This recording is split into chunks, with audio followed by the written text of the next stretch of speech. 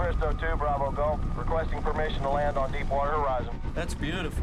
Well, anything that big ought to be made by God. We're currently building a very large recreation of the actual Deepwater Horizon rig. It's one of the largest sets ever constructed in the history of film. Our main deck is 53 feet in the air. Our heli deck is another 14 feet on top of that. The tank size is 350 by 250 feet, two and a half million gallons.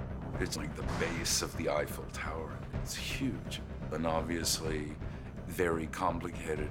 Talking to some of the people here who were on the oil rig, they were always amazed at how accurate the drill site was, and the rig and the bridge. What man can make is unreal. And talk about putting an actor right where they need to be.